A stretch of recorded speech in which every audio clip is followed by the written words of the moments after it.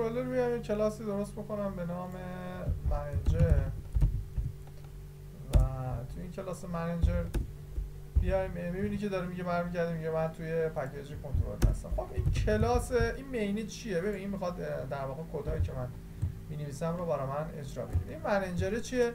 در واقع یه کلاس هستش. دقیقا اگه بیاید اینجا انگار من چیکار دارم می‌کنم؟ یه کلاس ساختم به نام دیگه بلده دیگه آب خوردن. یه کلاس ساختم به نام منیجر انگار اینجا یه کلاسی وجود داره. به نام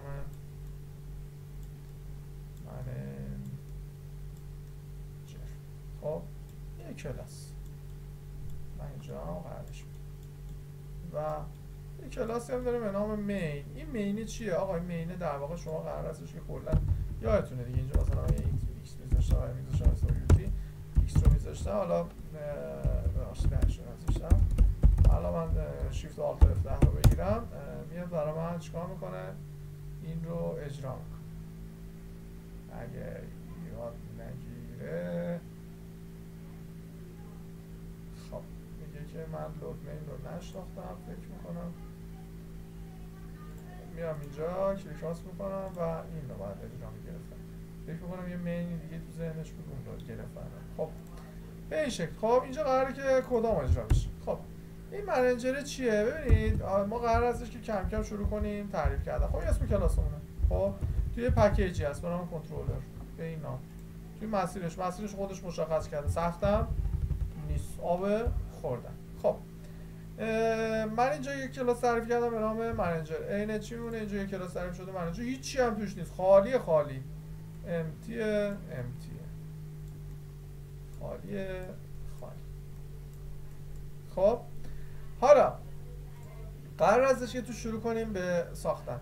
چجوری می‌تونم تو شروع کنم تعریف کردن؟ خب ببینید فعلا این رو اینجوری از من در نظر بگیرید بعدا می‌خوام در موردش کلی صحبت بکنیم. خب ما دو تا مقدار رو برامون اینجا فعلا مهم هستش. یکی method ها هستن یا در واقع اکشن هامون کار انجام میدن. یکی هم بحث در واقع property هامون فعلا ما روی این زوم می‌کنیم. و کلی هم باش کار خب. متد چی هم؟ توابعی که می‌تونید اینجا تعریف بکنید؟ توابع رو چجوری تعریف می‌کنیم توی کلاس؟ قبل ما تو مقدماتی گفته بودیم. اینجا بخواید توابع تعریف بکنید چون ایشون از نوع استاتیک هست. باید چیکار بکنید از نوع استاتیک مثلا میاد اینجا می‌گفتیم. مثلا پابلیک استاتیک استاتیک مثلا void مثلا تست و اینجا یه تی میذاشتید و برمیگشتید می‌گفتید درسته. و اینجا مثلا تست رو هم فراخونی می‌کردی. آب خورده شیفت آلت افتن رو هم می‌زدی برای رام می‌کردی و می‌بینی دیسیز تست رو برات چیکار می‌کرد؟ چاپ خب اینجا دیگه قضیه فرق می‌کنه. خب من دارم توی یه کلاس که از نوع پابلیک کلاس هستش و اسمش هم منیجر هستش. پابلیک هم حالا بعدا در مورد صحبت خواهیم کلی کار خواهیم داشت. اینجا خیلی من در مورد صحبت خواهم کرد. من میام اینجا شروع کنم method ها رو تعریف کردم. method ها method خب method ها رو چجوری می‌تونید تعریف بکنید؟ public static رو فراموش بکنید. استاتیک رو فعلا کار ندارم تو بعدا در مورد استاتیک رو صحبت بکنید public رو می‌نویسید. این public چیه؟ من میام اینجا. فعلا. ایشون به میگن access modifier خب؟ یا سطح دسترسی. public داریم. مواردش رو از همین الان بهتون میگم. public دارم. private دارم. protected دارم. این سه تا هستش. فعلا من public می‌ذارم. public یعنی چی؟ این دوتا رو فعلا فراموش بکنید باش کاری نداره public یعنی اینکه اگر توی کلاس شما تو این کلاس اصلی method ی بیا تعریف بشه تابعی بیا تعریف بشه توی کلاس اصلیتون که از نوع public باشه هر object یا instance ی از روش ساخته میشه می‌تونه بهش دسترسی داشته باشه. پس باز توی ذهنت تداعی بکن. هر وقت شما متدی تعریف می‌کنید به نام public instance یا instance یا object چی میشه؟ object تون کامل دسترسی داره. دسترسی داره به چی؟ من میگم مثلا در واقع همون access کامل داره. complete داره به چی؟ به این متد. خب من public رو گذاشتم. فعلا private نمیگم protected دارم. نخواهم گفت. بعدا در موردش خیلی بحث خواهیم داشت. پس public. خب اگر void بذارید یعنی که خودتون دیگه تا گفتم دیگه این خروجیش یا چاپ میشه یا الان می‌فهمید. احتمال داره مقدار بخواد توش ست بشه.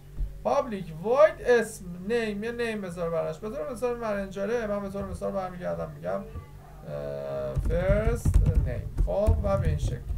برمیگردم میگم که SOUT کن مثلا تورش. خب؟ پس به این شکل.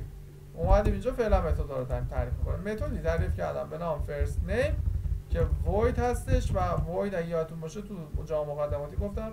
یعنی چی؟ یا می‌خواد چاپ بکنه یا از الان بدونید قرار مقداری رو ست بکنه.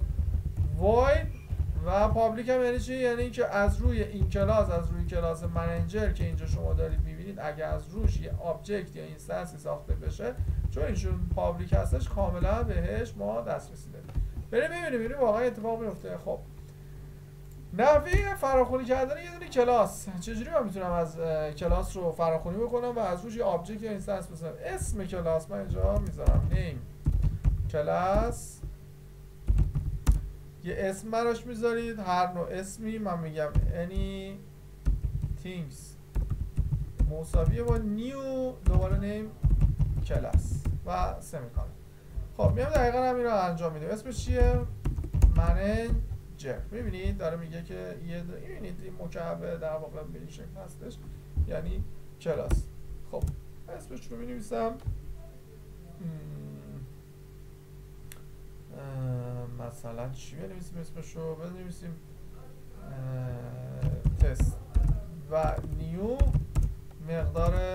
ببینید manager خودش براتون قرار خب پس من از روی کلاس manager اومدم یه اسمی دادم قرار به اسم نه تست و یه new کردم از روش. یه گفتم از روش یه object بساز. حالا کافیه من تست رو بنویسم و یه dot بزنم. یه سری متد که تو خودش داره به نام equals هستش مقدار در واقع hash code to string get class notify و اینا هستش که حالا وجود داره. به صورت by default یه مقدار می‌بینی به نام first name وجود داره. کافی این رو صدا فراخونی بکنید نگاه کنید این یک شیء به نام تست از روی کلاس manager ساخته شده. یعنی در واقع دقیقا شبیه به همین. من اگر بیام اینجا از روی این یه دونه مقداری ساخته شده به نام تست. یک متدی توش بوده به نام چی؟ یک متدی داخلش بوده به نام فرست نیم. که این قرار چیکار بکنه؟ وید چاپ بکنه. می‌بینید که آب خوردن.